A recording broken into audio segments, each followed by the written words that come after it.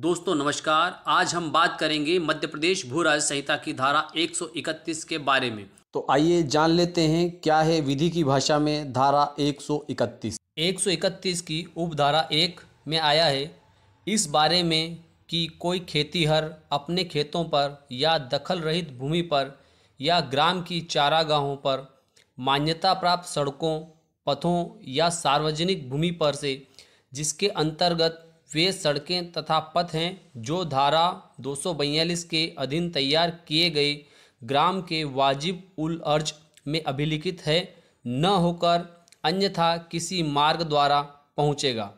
या इस बारे में कि वह किस स्रोत से या किस जल सारणी से अपने लिए जल प्राप्त कर सकेगा, या किस जल सारणी से अपने खेतों में जल निकासी कर सकेगा।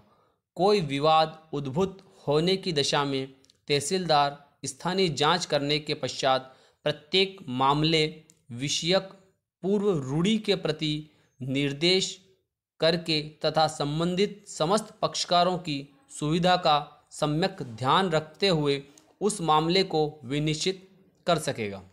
मध्य प्रदेश भू राजस्व संहिता की धारा 131 की उपधारा दो यह कहती है कि तहसीलदार जाँच के किसी प्रक्रम पर यदि उसकी राय में मामले के तथ्यों तथा परिस्थितियों को ध्यान में रखते हुए ऐसा अनुतोष प्रदान करना आवश्यक है तो वह उपधारा एक में के विवाद के अधीन किसी मामले के संबंध में तुरंत अनुतोष प्रदान करने का अंतरिम आदेश पारित कर सकेगा।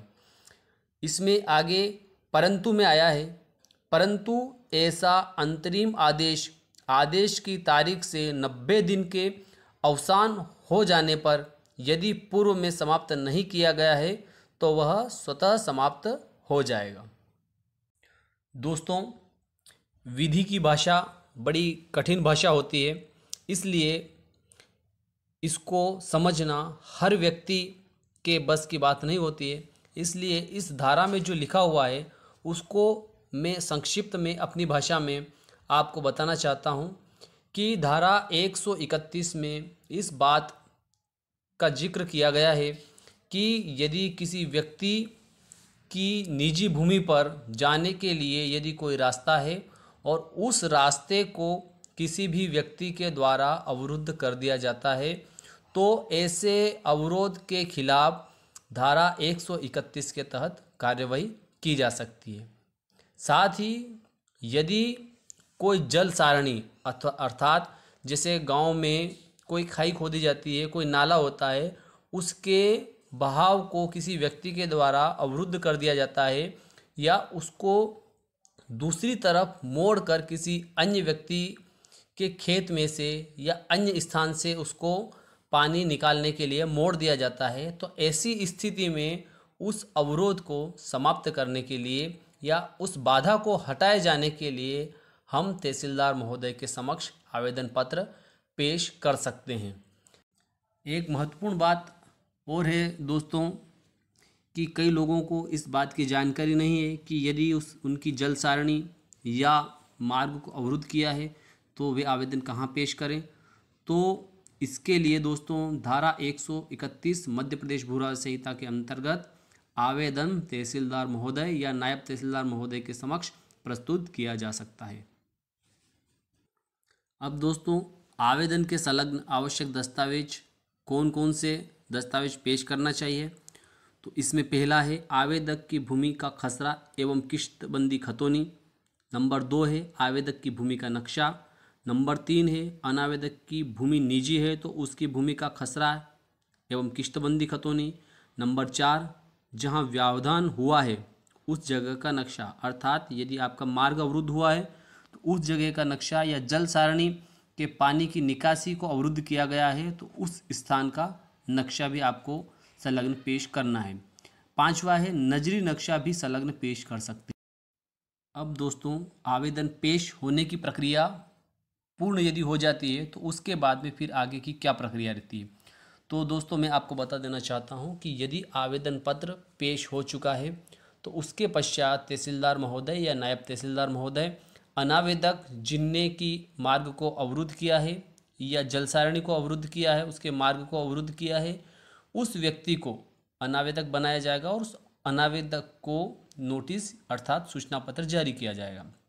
जब वो सूचना पत्र की तामील होगी और वह व्यक्ति तहसीलदार महोदय अथवा नायब तहसीलदार महोदय के समक्ष उपस्थित होता है, फिर वह भी अपनी ओर से बचाव में अपना जवाब पेश करता है।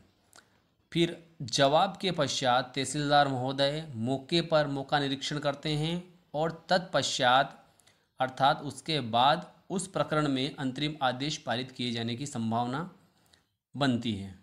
यदि तहसीलदार महोदय को उचित लगता है तो तहसीलदार महोदय वैकल्पिक मार्ग के रूप में भी मार्ग दिलवा सकते हैं या जो मार्ग अवरुद्ध किया गया है, उसको जब तक कि प्रकरण का निराकरण नहीं होता है, तब तक के लिए खुला रखे जाने के लिए भी अंतरिम आदेश पारित कर सकते हैं।